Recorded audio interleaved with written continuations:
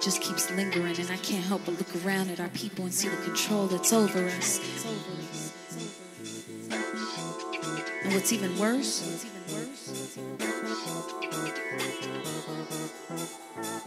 we hold our own selves back, we hold each other down. Come on, man, stop all that hate. Listen